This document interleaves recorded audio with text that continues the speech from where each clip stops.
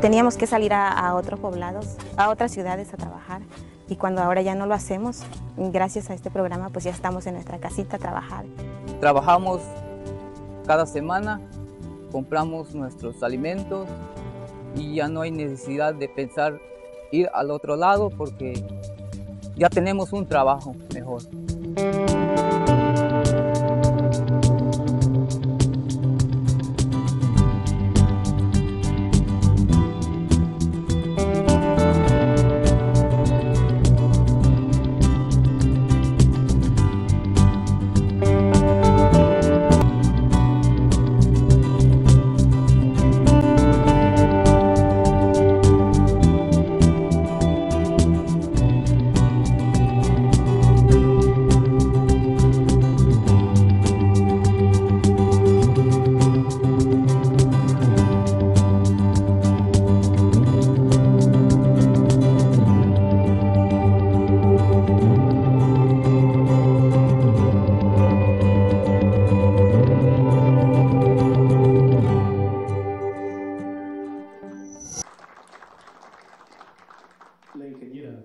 Este es el programa, el programa Sembrando Vida. Aquí es un comparativo de lo que planteamos a través de contribuir para el cambio climático. En un millón de hectáreas sabemos de la captura de dióxido de carbono de 17.8 millones. Si lo planteamos en un millón de México, como está, un millón en Guatemala, otro millón en Honduras, otro millón en El Salvador, tendremos cuatro millones y te estaremos captando cada año 71.2 millones. Eso solo de dióxido de carbono. Pero también vayámonos al agua producida y al agua infiltrada directamente a estos sistemas agroforestales. Hablamos en el caso de un millón, de 3.800 millones de metros cúbicos captados al año en un millón de, superficie. En 4 millones estamos hablando de 15.200 millones de metros cúbicos al año de agua infiltrada. Y en el caso de retención y regeneración de suelos, en un millón estamos hablando de 99 millones de toneladas de suelo producidas, retenidas al año. Si hablamos de la propuesta de México y Centroamérica, estaremos hablando de 396 millones de toneladas de suelo al año. Entonces es un programa muy benéfico porque nos ayuda a tener la pertenencia y la permanencia de la gente en sus territorios para que cuide y guarde su identidad, su cultura. Pero también es muy benéfico porque estamos ayudando a la naturaleza y contribuimos de manera directa como se muestra en esta lámina. Pues muchísimas gracias.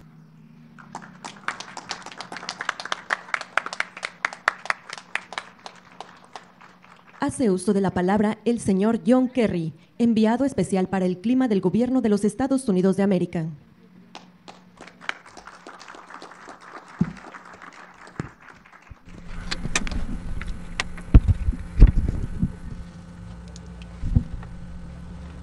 Señor presidente, Señor presidente, damas y caballeros, el ministro Ebrard, ministro del Medio Ambiente, Álvarez, ministra de Bienestar May, em- embajador de México a Washington, a los Estados Unidos, señor Moctezuma, y por supuesto mi gran amigo de los Estados Unidos, del Senado, y también ahora embajador Ken Salazar. General, almirante, distinguidos invitados. Buenas tardes. Estoy muy contento de estar aquí en México. Estoy muy contento de estar aquí en México. And um, I want to thank, Quiero agradecer al presidente López Obrador por haber organizado esta presentación, diría yo, al program. programa Sembrando Vida. Y quiero también uh, recalcar que esta reunión del día de hoy eh, establece que un, un informe que se acaba de hacer de Naciones Unidas en el, la- en el marco del cambio climático se ha sugerido que a pesar de que hayan aumentado los objetivos del clima en varios países, incluyendo los Estados Unidos, todavía face a 16% vemos un incremento del 16% en emisiones. Y la razón por la cual digo esto es porque la reunión eh, que, se que se hizo en la, en la conferencia y en la cena de las sesión de negociación de Naciones Unidas se va a reunir dentro de dos semanas. Hemos estado trabajando mucho hacia esta reunión y todos nosotros estamos trabajando muy duro para asegurar objetivos mucho más ambiciosos, para poder entonces lograr lo que los científicos ya nos dicen que es lo que debemos hacer. Por favor, permítame recalcar que no, esto no se refiere a la política ni a una ideología. Esto responde solamente a las matemáticas, la aritmética y también a la física, que nos sugiere claramente lo que tenemos que hacer. Los científicos nos dicen y en realidad la madre naturaleza también nos está hablando muy duramente, porque los países en todo el mundo, gente en todo el mundo, han sentido las consecuencias de estos cambios climáticos. Las inundaciones, México ha sufrido de ellas, inundaciones en Estados Unidos, en China, incendios en Australia, en California, en diferentes partes del mundo, inclusive en Siberia. Hemos visto el calentamiento de la Tierra y 10 millones de personas pierden sus vidas todos los días por el aumento de la contaminación. Y muchas personas ya han tenido que mudarse. Algunos de ustedes los ven aquí caminando por esta carretera frente a ustedes, como me acaba de explicar el señor presidente, al, cerca de la frontera, personas que no pueden seguir produciendo la los alimentos donde antes producían, donde desean vivir y donde esperan quedarse durante todas sus vidas. Lo vemos en el Medio Oriente, en África, en Asia, en América Latina. Entonces, nosotros enfrentamos un gran desafío los ciudadanos mexicanos, el 80% de los ciudadanos mexicanos están preocupados por el cambio climático y ustedes ya han sido azotados por estos cambios climáticos. También estoy aquí porque México y los Estados Unidos tienen una gran historia de colaboración. Y es una colaboración que yo sé que el presidente Biden y el presidente López Obrador creen fervientemente. Es algo que puede crecer, puede ser más sólido y pueden eh, acompañarnos hacia un futuro promisorio tomar acción en todos los sectores de la economía y pasar a una economía cero es ofrece oportunidades y es lo mejor que nos ofrece en nuestras vidas. Quiero que ustedes se concentren en eso. Esto es un, cambio más grande en la economía que lo que hemos visto en la revolución industrial y con repercusiones mucho más profundas. Y los trabajos que más van a crecer en los Estados Unidos en los últimos años fue técnicos de energía eólica, también instalación de paneles solares. Ustedes, ¿cuál fue la segunda industria que más creció, enfermeras, por el tema del COVID. No es algo que queremos celebrar.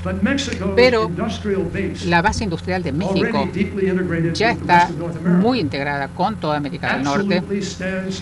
Se va a beneficiar enormemente de esta transición energética. Por ejemplo, cuando nosotros pasemos a vehículos de gasolina a eléctricos, va a haber trabajos muy buenos, con muy buenos sueldos aquí en México, por las conexiones que ya hay en cuanto a la industria automotriz en ambos países para mantener el objetivo de 1,5 grados Celsius y poder evitar las peores consecuencias del cambio climático que nos han descrito ya los científicos, tenemos que llegar a emisión neta cero al mundo a nivel mundial en el 2050. Pero quiero recalcar algo y no quiero recalcarlo solamente como enviado del, presidente Biden o como John Kerry, lo recalco para demostrar que la ciencia ya nos advirtió en el 2018, es algo que a lo que tenemos que prestar atención. En el 2018 los científicos nos dijeron que ustedes, ustedes, las personas que están en el gobierno, tienen 12 años en lo cual tomar decisiones claves y ejecutar prácticas para evitar las peores consecuencias del cambio climático. Ya pasaron tres años, nos quedan nueve solamente y obviamente no se puede comenzar a ejecutar algo que va a ser en ocho años o en siete años. Tiene que comenzar ahora. Los científicos nos han dicho, sin lugar a dudas, que si ustedes quieren mantener el aumento de temperatura a 1,5 grados Celsius, si quieren lograr emisiones cero para el 2050, tienen que reducir las emisiones entre el 2020 y el 2030 de manera tal que permita lograr ese objetivo. Son hechos para el éxito de esto. No se puede lograr sin la reforestación. Y también atacando el tema de la deforestación. Cuando yo hablo de temas de cambio climático, por supuesto hablo de energía, de, elecciones energéticas, pero siempre hablo de las soluciones basadas en la naturaleza. Casi un tercio de aquí de México está cubierto por bosques y el presidente López Obrador muy adecuadamente se está concentrando en cómo México va a hacer sus contribuciones prestando atención a eso. Y el tener éxito en esto, en el tema de la reforestación, podría contribuir casi un tercio de la mitigación mundial para el 2030 y aún más en las décadas posteriores. Entonces, en este momento, la deforestación es un tema muy importante en diferentes países. Y personalmente, habiendo trabajado en el Senado 28 años como secretario de Estado, luego yo fui a diferentes países del mundo, Camboya, Laos, Tailandia, Vietnam, Birmania, Myanmar, las Filipinas, Indonesia, y he visto cómo se están quemando estos bosques y cómo se están talando. Todos nosotros en el mundo necesitamos concentrarnos en lo que López Obrador está haciendo acá, está tratando de hacer. Y esto no es solamente el tema de la reforestación, es un programa que se concentra en el pueblo, en la gente, en la vida de la gente, en el trabajo, en la posibilidad de poder quedarse donde usted vive, la posibilidad de estar conectado con la tierra como parte de su futuro. Entonces, nosotros reconocemos que el detener la deforestación y restaurar los ecosistemas es fundamental por diferentes razones, que no es solamente el tema de cambio climático.